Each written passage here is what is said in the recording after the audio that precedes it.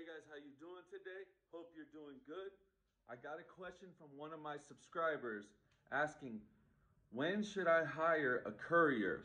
And this is a great question because a lot of people try to jump the gun and go way too advanced with their business too fast.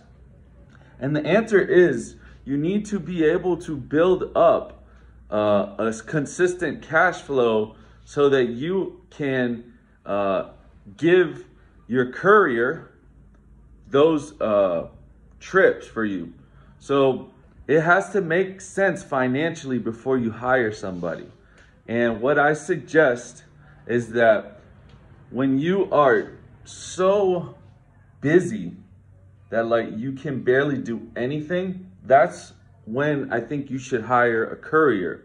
Now, there's always different circumstances, um, but yeah, that's what I would suggest. And, you know, when it comes to opening up other cities, like I have done, uh, you want to do it with somebody that is somebody that you can trust because they're going to be handling a lot of money for you. So that's my answer. Uh, you guys have a great day. See ya.